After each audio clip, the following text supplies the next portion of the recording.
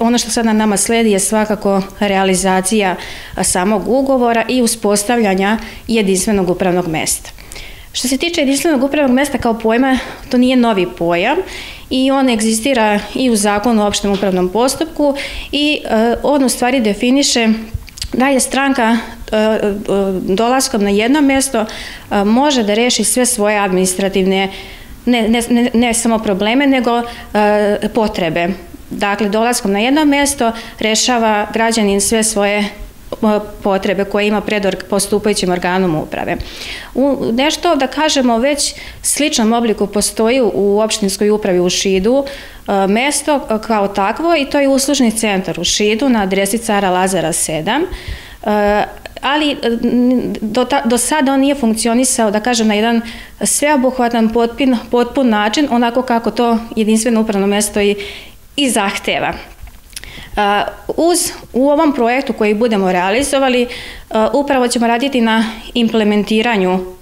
i uspostavljanju jedinstvenog upravnog mesta u punom obuhvatu na način što ćemo slati nadležne službenike na dodatne stručne obuke kako bi imali sva potrebna i relevantna znanja u postupanju. Sa druge strane ćemo opremiti prostor u vidu i tehnološke podrške i opreme i jednog uvođenja jednog, da kažem, uz postojeće softversko rešenje jednog novog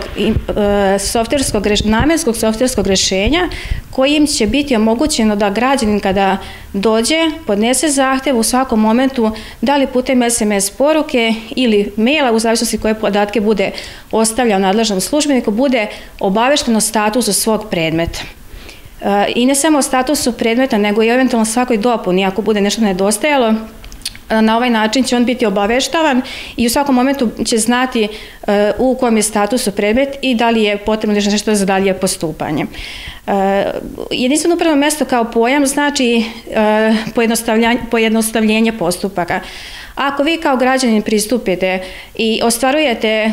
podnošenjem jednog zahteva jedno pravo, a službenik e, e, uvidi da vam tim zahtevom pripada i drugo pravo na koje vi još niste ni podneli zahtev, on vas na to upućuje, poučava i jednim zahtevom, dakle, vi možete ostvariti više pripadajućih prava, naravno ako, su, ako ih ispunjavate u skladu sa zakonom. Na ovaj način ćemo u punoj meri negovati načelo delotvornosti postupka, skraćivati potrebno odlučivanje i potrebno odlučivanje u postupku za stranku, smanjiti vreme čekanja, smanjiti nepotrebnu dokumentaciju koja se često znala duplirati jer je građani podnošenjem više zahteva podnosio gotovo istovetnu dokumentaciju za više različitih postupaka i gde ćemo svakako dati značaj na čelo poučavanja stranka, da stranka ako i nije sigurna koje pravo može da ostvari dolaskom na ovo jedinstveno upravno mesto, bit će poučena i jasno će znati koje pravo može da ostvari.